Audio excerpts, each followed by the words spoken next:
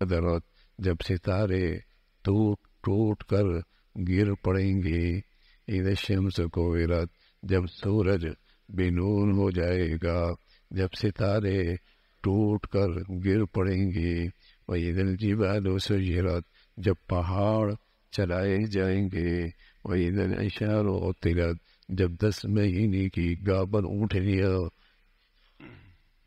छोटी फेरेंगी यानी यूँ ही छोटी फेरेंगी वही फौश खुशरत जब वक्षी जानवर मारे घबराहट के सब जमा हो जाएँगे वही दिल बिहार सुजरत जब दरिया भड़काए जाएँगे वही दिल नफोस जवीजत जब एक एक किस्म के लोग इकट्ठे किए जाएँगे वही दिल मऊदत सुरत जब ज़िंदा गाड़ी हुई लड़की से पूछा जाएगा बेदम बिन को तिरत वो किस गुनाह में कत्ल की गई थी। वही नशीरत जब नवा अमाल खोले जाएँगे। वही समाओ कुशितत जब आसमान खुल जाएगा। वही जहीम सुरत, और जब दो और ज़्यादा दिखाई जाएगी। वही दल जन्नत हो सिफत जब जन्नत नज़दीक कर दी जाएगी। आलिमत नफ्स अखबरात उस वक़्त हर शख्स उन अमाल को जान लेगा, जो लेकर आया है। जब आफ्ताब बिनूर हो जाएगा, जब सतूर सितारे टूट कर गिर पड़ेंगे, जब पहाड़ चलाए जाएँगे, जब दस महीने की गाबन ऊँटियाँ छुटी फिरेंगी, जब वाशी जानवर मारे घबराहट के सब जमा हो जाएँगे, जब बड़का जब एक किस्म के लोग इकट्ठे किए जाएँगे। जब ज़िंदा गाड़ी हुई, लड़की से पूछा जाएगा वो किस गुनाह में कत्ल की गई? जब नामा अमाल खोले जाएँगे, जब आसमान खुल जाएगा, और जब दोजख और ज़्यादा देखाई जाएगी, जब जन्नत नज़दीक कर दी जाएगी। आनिमत नफ्सों अखबार तो इस वक्त हर शख्स उन आवाल को जान लेगा। जो वो लेकर आया है। आमतौर पे आज दुनिया में जो इल्म राइज है और जो इल्म दुनिया में इस वक्त पढ़ाया जाता है, सुनाया जाता है, सिखाया जाता है, उस इल्म में सिर्फ़ इस बात का तस्करा होता है कि साठ, सत्तर साल, अस्सी साल ज़िंदगी का कैरियर कैसे बना लिया जाए।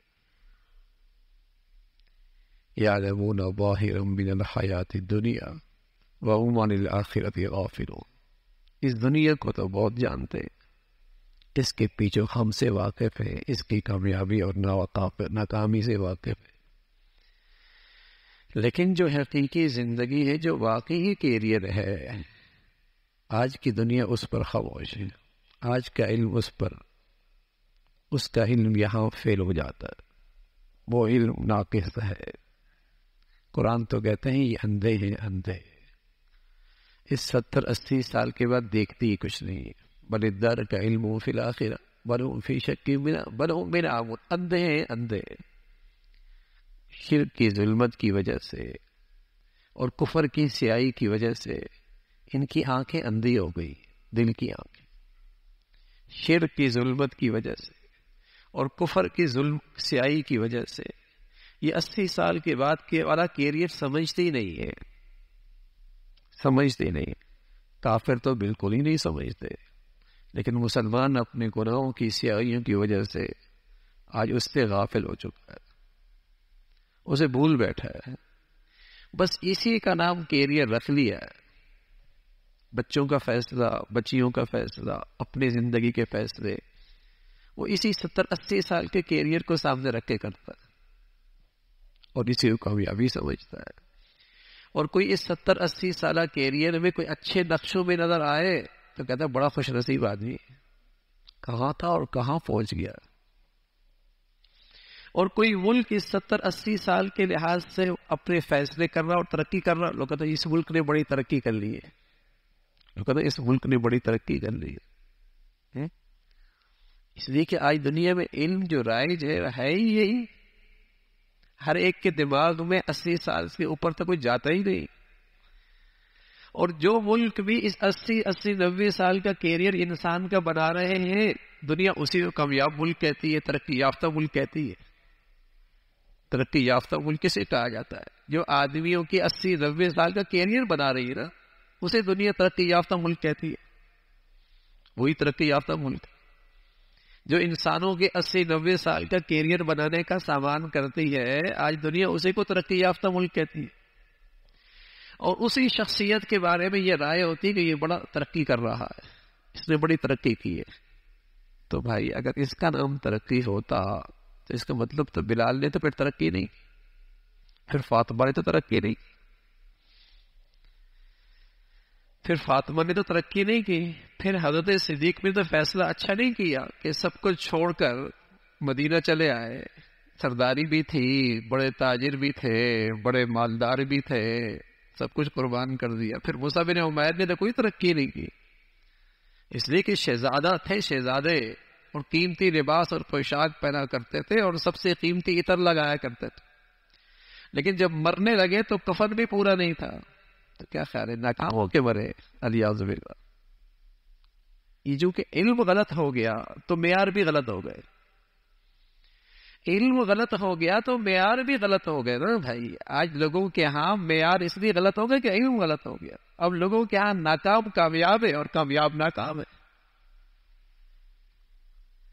अकलमंद आदमी अहमक है और अहमक आदमी दुनिया के यहाँ बड़ा अकलमंद है वो आदमी तो अहमक है अल्लाह की नबी की नज़र में, जो 80 साल को 90 साल को सोचे 70 साल को सोचे और खरबे साल के कैरियर से गाफिल है। अल्लाह के नबी फरमाने ये अहमक है।